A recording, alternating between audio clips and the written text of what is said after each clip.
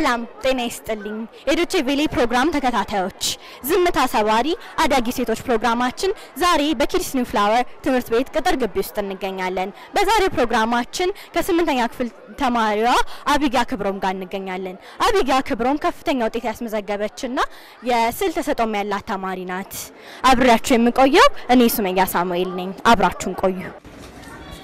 የ14 ዓመቷ ታዳጊ አቢጊያ ክብሮም የስምንተኛ ክፍል ተማሪ ናት። ታዳጊዋ በትምህርቷ ጎበዝና ጥሩ መረዳትም ያላት ናት። በዚህም ከየትምህርት አይነቱ ከፍተኛ ውጤት ከማስመዝገቧን በላይ የደረጃ ተማሪ ናት።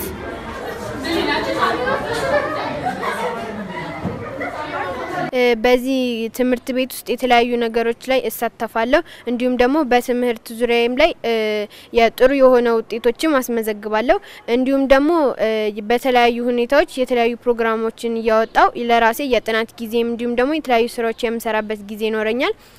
እኔ ከተለያዩ ሰዎች ጋር ማጥናት ደስ ይለኛል። ነገር ግን ይበልጥ ትምህርቱ እንዲገባኝ ደግሞ ለራሴ unit ኡን እየከፋፈልኩኝ የዚህን unit እስከዚህ ጊዜ እያልኩኝ በዛ ሁኔታ ማጥናት ደስ ይለኛል። በሚጨርስበት ጊዜ ደግሞ የተለያዩ ስራዎችን እንሰራለሁ ማለት ነው።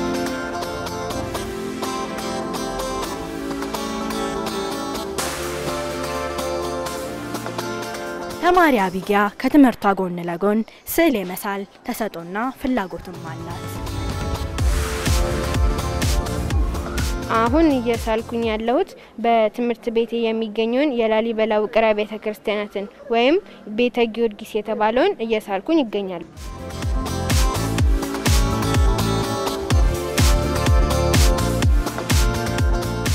በትርፍ ጊዜ የተለያዩ ነገሮችን መስራት ወዳለሁ። ከነሱም ውስጥ በመጀመሪያ በጣም የምወደው ነገር ስዕል መሳል ነው። የተለያዩ ስዕሎችን ከተለያዩ ነገሮች እያየው ወይም ህይወት ያላቸው ነገሮች ሊሆኑ ይችላሉ፣ ህይወት የሌላቸውም ሊሆኑ ነገሮች ሊሆኑ ይችላሉ። እነሱን መሳል በጣም ያስደስተኛል። እንዲሁም ደግሞ በተጨማሪ የተለያዩ አይነት የፈጠራ ስራዎችን መስራት፣ የተለያዩ ግጥሞችን መግጠም እንዲሁም ደግሞ የተለያዩ ስራዎችን መስራት ያስደስተኛል።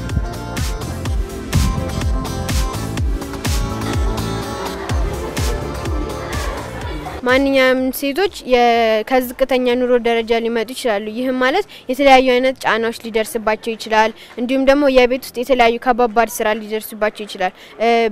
እንደሚታወቀው ከሆነ ሴቶች ከወንዶች ጋር እኩል አይደሉም ይባላል። ነገር ግን ይህ ሴቶች የተለያዩ አይነት ሪካርዶች እየሰበሩ የተለያዩ ባለም ታዋቂዎች እየሆኑ እየተገኙ ነው። ይህም ደግሞ እራሳቸውን ችለው እንዲሁም ደግሞ በራሳቸው የተለያዩ ነገር ተቋቁመው እንዲሁም ደግሞ ከቤተሰቦቻቸው እገዛ ሊኖር ይችላል እሱን እየተቋቋሙ ይደርሳሉ። ታዳጊ ሴቶች ከቤተሰቦቻቸው እገዛ ሲደርሳቸው ራሳቸውንም ማበረታታት ሲችሉ በትምህርታቸው ጥሩ ደረጃ መድረስ ይችላሉ። ተሰጧቸውንም ማጋራት ይችላሉ። ለዝምታ ሰባሪ አዳጊ ሴቶች ሱመያ ሳሙኤል ነበርኩ። ሰላም